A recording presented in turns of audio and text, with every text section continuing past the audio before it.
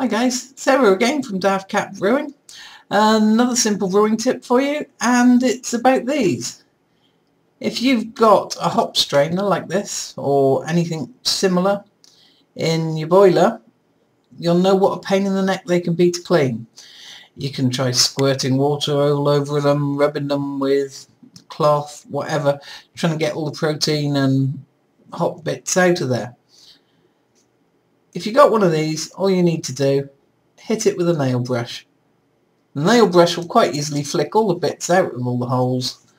If you're running it under the tap whilst you do that, clean in no time. Easiest way to clean your hop strainers. There you go, another brewing tip in five minutes or less from Daft Cat Brewing. Cheers guys.